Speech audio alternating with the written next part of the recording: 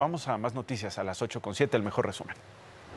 Se registró otra explosión en Tlajomulco de Zúñiga, Jalisco. Ocurrió en la misma zona donde el pasado 6 de julio fueron emboscados con minas elementos de la Fiscalía y policías locales. En esta ocasión el estallido no dejó personas heridas. Personal especializado en desactivación de artefactos explosivos acudió al lugar y localizó un cráter. La Comisión Federal para la Protección contra Riesgos Sanitarios emitió una alerta sanitaria a la población por la falsificación de aspirina Protec de 100 miligramos. Detalló que el medicamento falsificado tiene fecha de caducidad de julio de 2024, en tanto que el producto original hasta septiembre del 2023.